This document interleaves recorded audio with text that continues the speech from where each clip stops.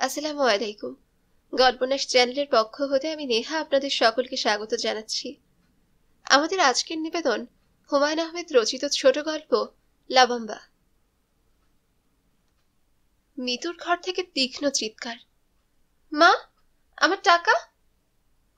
মিতুর মা আফরোজার অফিসের গাড়ি চলে এসেছে। নিচ থেকে হর্ন দিচ্ছে। তার দাঁড়াবার সময় নেই। তিনি বিরক্ত গলায় বললেন, কি হলো? আমার টাকা কোথায় গেল, মা? আমি কি জানি কোথায় গেল। টেবিলের উপরে রেখে বাথরুমে মুখ ধুতে গিয়েছি। কত টাকা? পাঁচশো টাকার একটা নোট। আজ আমি বান্ধবীদের চটপটি খাওয়াবো। কে আমার টেবিল থেকে টাকা নেবে? আফরোজ আর কথা বাড়াতে চাইছেন না। অফিসের মাইক্রোবাস অপেক্ষা করছে। সহকর্মীরা নিশ্চয়ই বিরক্ত মুখে বসে আছেন। সেদিন কথায় কথায় রমিত সাহেব বলছেন তার এগারো বছরের চাকরি জীবনে এরকম নাকি কখনো হয়নি যে গাড়ি হর্ন দিয়েছে আর মহিলা সহকর্মী নেমে এসেছেন। শেষ মুহূর্তেও নাকি মহিলাদের কি নাকি কাজ বাকি থাকে। আফরোজা মেয়ের ঘরে এসে ব্যাগ খুলে টাকা বের করলেন। মিতু বলল, তুমি ময়লা টাকা দিচ্ছ কেন? আমি ময়লা টাকা দিয়ে বন্ধুদের চটপটি খাওয়াবো? আমি এই টাকা নেব না। নতুন টাকা আমি পাবো কোথায়? সেটা আমি কি জানি? তুমি আমাকে চকচকে নতুন একটা নোট দিয়ে তারপর অফিসে যাবে। নয়তো আমি কিন্তু ঘর থেকে বেরোতে দেবো না তোমাকে। দরজা বন্ধ করে আটকে রাখব। মিতু এবার ইউনিভার্সিটিতে ফার্স্ট ইয়ার থেকে সেকেন্ড ইয়ারে উঠেছে। তার আচার আচরণ, কাজকর্ম, সবই এখনও স্কুলের মেয়ের মতো। সে সত্যি সত্যি দরজা বন্ধ করে দেবে। এদিকে নিচ থেকে ক্রমাগত গাড়ির হর্ন ভেসে আসছে। আফরোজার কাছে চকচকে টাকা নেই। যন্ত্রণায় পড়া গেল। মিতু খাটে বসে আছে, হাসি মুখেই বসে আছে, পা নাচাচ্ছে। তার গায়ে তার বাবার একটা শার্ট মা, আমাকে অফিসে যেতে হবে, দেরি হয়ে যাচ্ছে। হোক দেরি। নে, এই দুশো টাকা রেখে দে। এই নোট দুটো মোটামুটি পরিষ্কারই আছে। অসম্ভব। আমি মাত্র দুশো টাকা নিয়ে যাব? তুই বড় যন্ত্রণা করিস মিতু। আমি কি অফিসে যাব না নাকি? না। কি যে তুই পাগলের মতো কথা বলিস। আমি যদি ইউনিভার্সিটিতে না যেতে পারি, তুমিও পারবে না। ঘরে বসে থেকে আমি কি করব? আমার টাকা কোথায় গেল খুঁজে বের করবে? আফরোজা কাজের মেয়ে লাইলিকে নিচে পাঠালেন। সে বলে আসবে, তিনি আজ অফিসে যাবেন না। তার শরীর ভালো নেই, জ্বর আসছে। মিতু পা নাচানো বন্ধ করে বলল, টাকাটা লাইলি নেয়নি তো মা? ঘরে আমরা চারজন মাত্র। আমি, তুমি, লাইলি আর জিতুর মা। তুমি নিশ্চয়ই নাওনি। বাকি থাকছে লাইলি আর জিতুর মা। জিতুর মা নেবে না। কাজেই কালপ্রিট হচ্ছে লাইলি। আমার তো মনে হয় তুই কোথায় রাখতে কোথায় রেখেছিস? আমি টেবিলের উপরেই রেখেছি। এই দেখো, ঠিক এইখানে। পেন্সিল কাটার দিয়ে চাপা দিয়ে বাথরুমে মুখ ধুতে গিয়েছিলাম। এসেই দেখি হাপিস। হাপিস মানে? হাপিস মানে হজম হয়ে গেছে।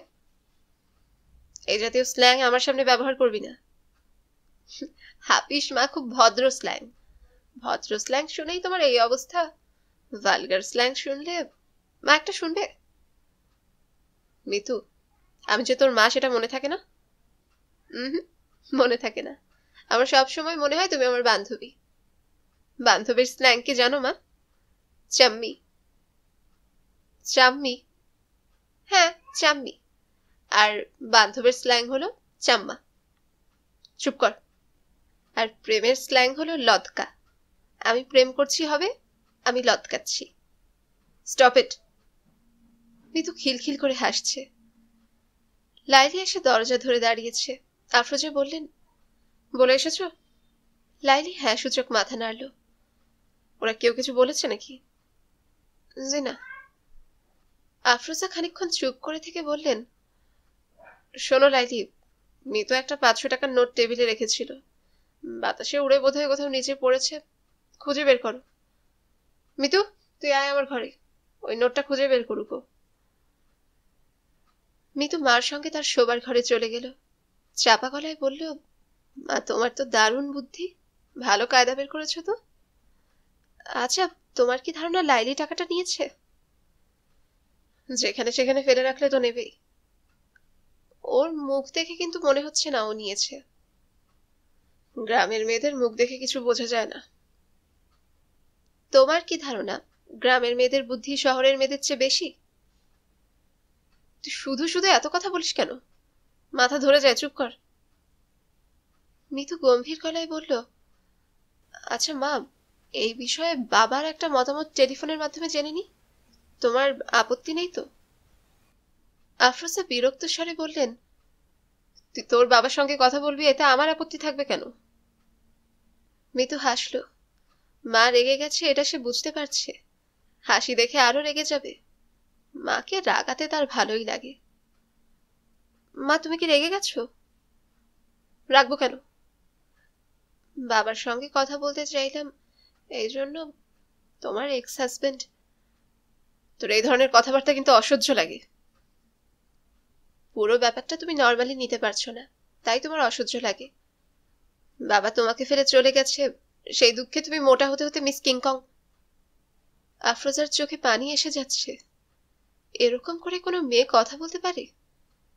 কোথায় যাচ্ছে এখনকার ছেলেমেয়েরা? মা, শোনো, বাবা তো বিয়ে করে দিব্যি সব গুছিয়ে ফেলেছে। তুমিও আর দেরি করো না। তোমার সাইজের কাউকে খুঁজে বের করো, তারপর কিছুদিন লদকাও এরপর শুভ বিবাহ। মেয়েকে কঠিন ধমক দেবার ইচ্ছা আফরোজা সামলালেন। কি হবে ধমক দিয়ে? শুধু শুধু অফিস কামাই হলো। সারাদিন ঘরে বসেই বা হবেটা কি? এই সপ্তাহের বাজারটা করে রাখলে হয়। মিতুকে কি বলবেন? সে যেন তার বাবাকে বলে তার গাড়িটা আজকের জন্য আনিয়ে নেয়। মিতু বললেই গাড়ি চলে আসবে। লোকটা মেয়ে অন্তপ্রাণ। মিতু তার বাবাকে টেলিফোন করেছে। মিষ্টি ঋণে গলায় বলল, বাবা, শোনো, তুমি তোমার মূল্যবান একটা জাজমেন্ট আমাকে দাও তো। গ্রামের মেয়েদের বুদ্ধি কি শহরের মেয়েদের চেয়ে বেশি? মারুফ সাহেব বললেন, হঠাৎ বুদ্ধির প্রসঙ্গ কেন? হঠাৎ না, এটা নিয়েই মার সঙ্গে আমার তর্ক হচ্ছে। তোমার মতামত কি? মতামত তো দিতে পারছি না। গ্রামের মেয়ে তেমন একটা দেখিনি। তুই কেমন আছিস বল? ইউনিভার্সিটিতে যাসনি? যাব কীভাবে? আমার সব চুরি হয়ে গেছে, বাবা। সে কি তুমি যে চকচকে একটা পাঁচশো টাকার নোট দিয়েছিলে, টেবিলের উপর রেখেছিলাম। হাপিস হয়ে গেছে। কাজের মেয়েটা কেউ নিয়েছে নাকি? আমার ধারণা লাইলি নিয়েছে। ওর ওপরই আমার ঘর গোছানোর দায়িত্ব। বাবা, শোনো, তোমার এই প্রসঙ্গে কি মতামত? তোর কথা বুঝতে পারছি না।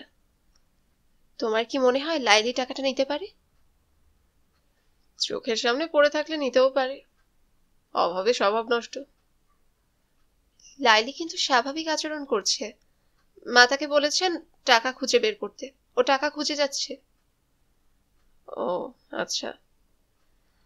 বাবা, শোনো। তুমি কি একটা বাজি রাখবে আমার সঙ্গে? কি বাজি?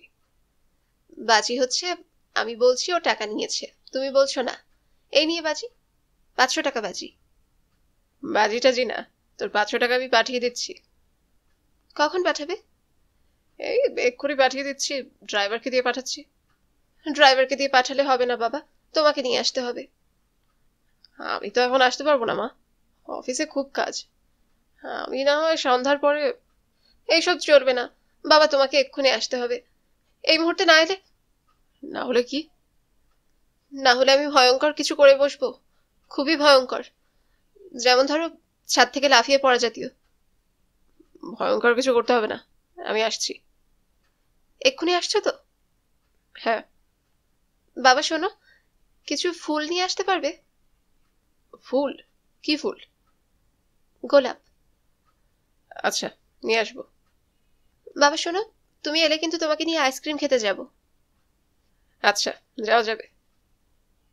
আমাদের সঙ্গে যদি তোমার প্রাক্তন স্ত্রীকে নেই, তাহলে কি তুমি রাগ করবে? মারুফ সাহেব হেসে ফেললেন। মিতু হাসল। লাইলি তন্ন তন্ন করে খুঁজছে, তার বুক ধকধক করছে।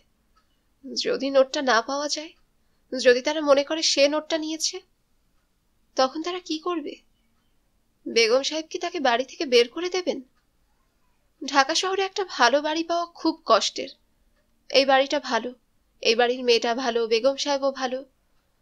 এই বাড়ি ছেড়ে যেতে তার কষ্ট হবে। মিতু তার ঘরে এসে দাঁড়াল।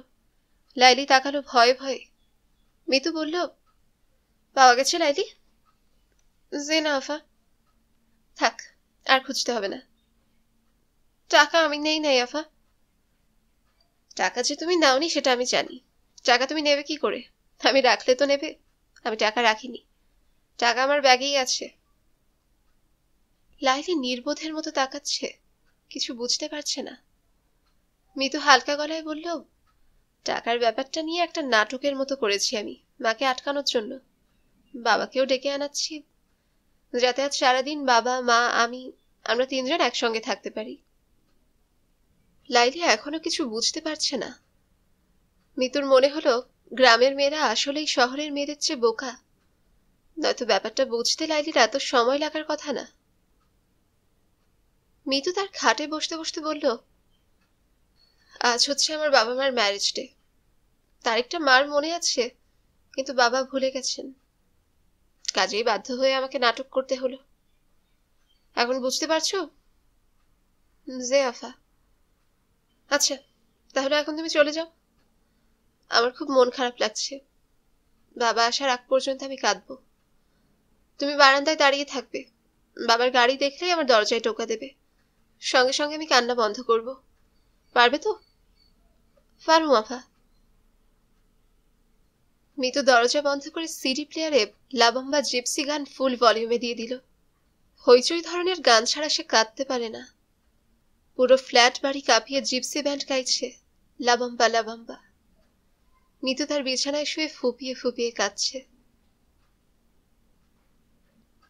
শেষ হলো আমাদের আজকের নিবেদন। আপনারা সকলে সুস্থ থাকবেন এবং আমাদের পাশে থাকবেন। এই কামনায় আজকের মতো এখান থেকে বিদায় নিচ্ছি।